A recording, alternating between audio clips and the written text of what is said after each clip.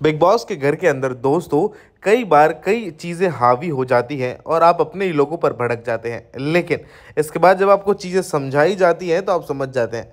पर ऐसा बिल्कुल भी नहीं हो रहा है नील भट्ट और ऐश्वर्या के साथ। ऐश्वर्या शर्मा, जिनका हाल ही के अंदर जो वेडिंग एनिवर्सरी भी थी और नील ने बड़ी धूमधाम से मनाई भी थी, अब हाल ही के अंदर वो खूब ज़्यादा लड़ाई करती हुई भी नज़र आई नील के साथ में। पूरे हफ़्ते वो नील पर छोटी छोटी बातों पर भड़की है, उनकी डिसरिस्पेक्ट की है। इनफैक्ट घर में राशन टास्क के दौरान भी इनकी तूतू मैम हो गई थी किचन में भी इनकी तूतू मैम हो गई थी।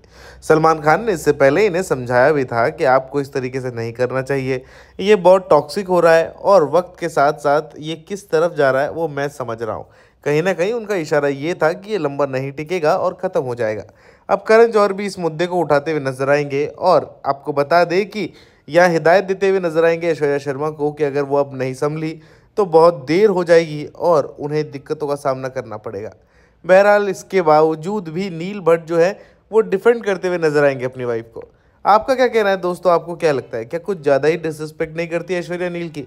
कमेंट ज़रूर करें और भी खबरों के लिए सब्सक्राइब करें चैनल खेलो खेलो को।